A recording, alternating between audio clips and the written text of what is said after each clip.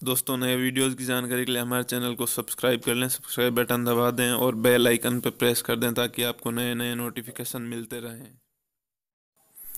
नमस्कार दोस्तों, ये नोटिफिकेशन है वेस्ट बंगाल पुलिस रिक्वायरमेंट 2018 का, जिसमें 2550 पदों पर लेडी कांस्टेबल के लिए भर्ती निकली है।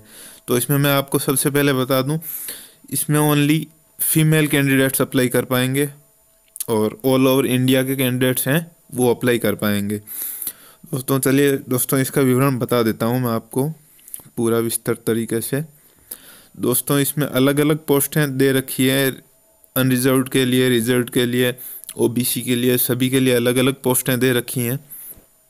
एज लिमिट है दोस्तों, इसका 18 से 27 साल, जो कि होना चाहिए एक एक 2018 तक।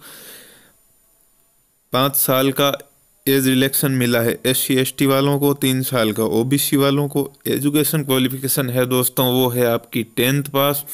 और एक अनिवार्य बात और है, महत्वपूर्ण बात है, वो है आपको आनी चाहिए बंगाली भाषा बोलनी और लिखनी।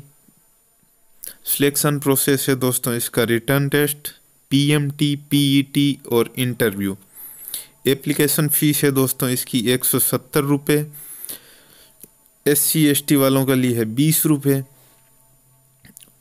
दोस्तों हाउ टू अप्लाई इसमें दोस्तों दो मोड हैं। ऑनलाइन भी आप अप्लाई कर सकते हैं ऑफलाइन भी कर सकते हैं। ऑनलाइन और ऑफलाइन अप्लाई करने के लिए एक ही डेट है, दोनों में सिमिलर डेट है। तो आप ऑनलाइन अप्लाई कर सकते हैं। इसकी ऑफिशियल वेबसाइट से वेबसाइट पर जाकर और इसका ऑनलाइन अप्लाई करने का डेट है तीन एक दो हज़ार अट्ठारह से लेकर एक दो दो हज़ार अट्ठारह तक शाम को पाँच बजे, ऑफलाइन मोड और ऑनलाइन मोड दोनों में। तो दोस्तों, उम्मीद करता हूँ आपको वीडियो पसंद आया होगा।